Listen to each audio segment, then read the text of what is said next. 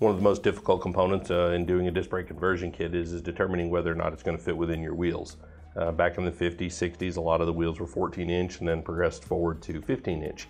Uh, either way, they can both be challenging in fitting uh, disc brake, uh, rotor, and calipers within the wheel.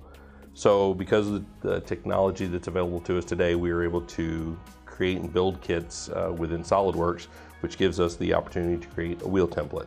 Uh, this wheel template simply prints out on a piece of paper, but then from there we can actually take it and put it within the wheel to determine fitment. To find the templates, these are all on our product pages on our website. You'll see a portion up in the corner that says wheel template. Uh, print that out.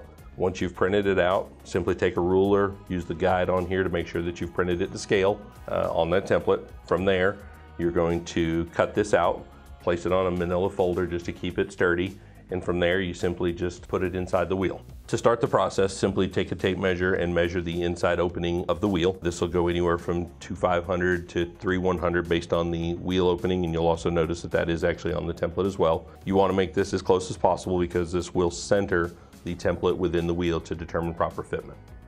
Once you have everything uh, determined as far as the center of the wheel, you're going to want to have something like this. You've got the center hub measured here this will be your rotor mounting surface. And then out here is the actual outside profile of the caliper. And this is what we're gonna actually wanna look at when placing it inside the wheel to make sure that it clears all surfaces uh, of the inside of the wheel. So simply take it inside hub register, and then that'll go inside the wheel. And you determine basically at that point whether or not the disc brake conversion kit is going to fit your wheels. So once you've uh, finished kind of placing the template inside the wheel, at this point you'll know whether or not things are going to fit or they're not gonna fit.